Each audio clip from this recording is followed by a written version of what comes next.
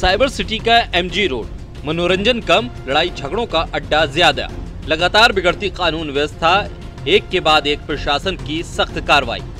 MG road का कुछ सूरत हाल यही है।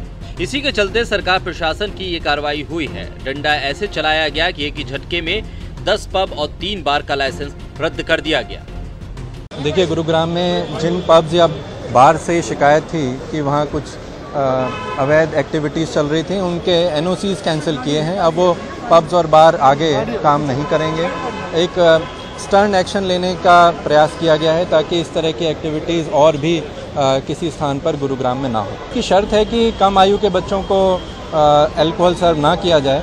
उसको ध्यान में रखते हुए एक्साइज महकमा और पुलिस की जहाँ जहाँ हमें शिकायत प्राप्त हुई है हमने उसको चेकिंग की है और उनके लाइसेंसेस भी कैंसिल करेंगे जहाँ इन शिकायतों पर हमें रेड के बाद पुख्ता सबूत मिलते हैं।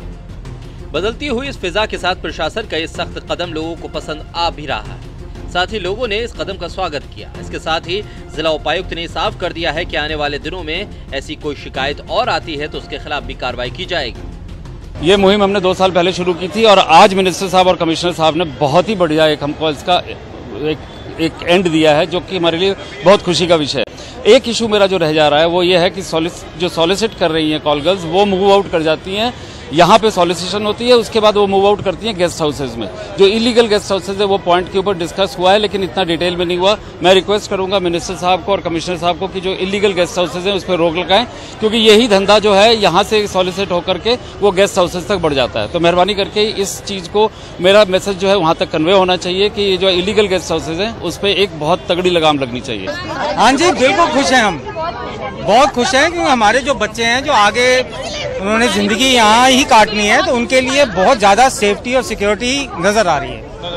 हाँ जी, हम लोग बहुत बहुत ही खुश हैं, चाहे छोटे से कदम की तरफ़ हम बढ़े हैं और आगे चल के उम्मीद करते हैं, जो उन्होंने अपनी बातें कही हैं, उस पर सब अमल रहेंगे। और कर भी रहे और बहुत बड़ी अचीवमेंट है कि एक हफ़्ते में प्रभाकर जी ने डीसी राव जी ने हमारे काम हमारी डिमांड्स को सुना है और उस बात को समझा गया है and we are really happy for a future generation at least उनको हम सेफ़ एनवायरमेंट दे सकते हैं। एमजी रोड पर जो शिकायत मिली, उसमें ये पब और बार गलत मिले, जिसके चलते कार्रवाई की गई।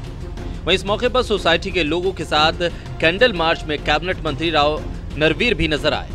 वहीं लगातार एमजी रोड पर लड़ाई झगड़ों और मारपीट और वैश्यावृत्ति के मामले लगातार सामने आते रहे।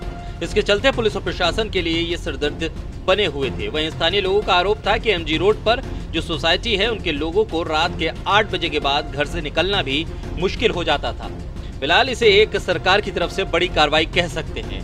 गुरुग्राम में 205 पब और बार हैं। इसमें से गुरुग्राम पुलिस और एक्साइज ने करीब 10 पब और तीन बार को चेक किया। इसमें लगातार गलत एक्टिविटी मिल रही थी। इसके बाद ये कार्रवाई करते हुए कानून व्यवस्था और वैश्यवृत्ति कराने के आरोप में कार्रवाई की गई।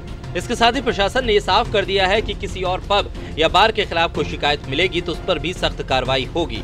गुरुग्राम से टोटल न्यूज़ के लिए सुशील सिंह की रिपोर्ट।